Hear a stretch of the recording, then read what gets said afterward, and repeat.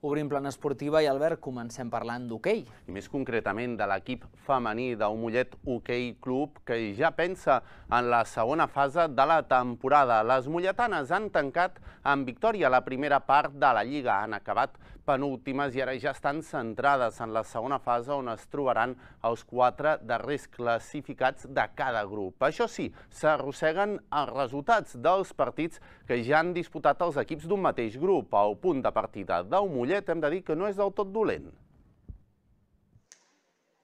El Mollet Hockey Club femení començarà la segona fase de la Nacional Catalana en cinquena posició amb 9 punts. Els dos primers classificats en tenen tan sols 3 més. L'objectiu de les molletanes serà acabar entre els quatre primers de la taula per evitar d'aquesta manera l'eliminatòria del descens directe. A primera catalana només baixen dos equips, que són els perdedors de l'eliminatòria que jugaran el cinquè contra el vuitè i el sisè contra el setè d'aquest grup. Malgrat que la feina la tenen més o menys encaminada, val la pena certificar-la per no patir més del compte. Per això ha estat important la victòria de la darrera jornada contra l'Igualada B, equip que també ha entrat en aquest mateix grup que lluitarà per la salvació.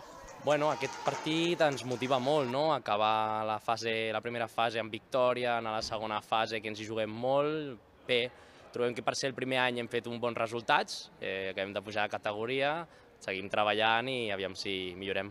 Era necessari per la segona fase i bueno, al final hem fet el que hem pogut des del nostre primer any i estic orgullós del nostre equip. En cas d'acabar entre els quatre primers, les molletanes tindrien accés de disputar una eliminatòria de repesca contra un dels equips classificats entre cinquena i vuitena posició de l'altre grup, que en cas de guanyar els permetria entrar en el play-off d'ascens.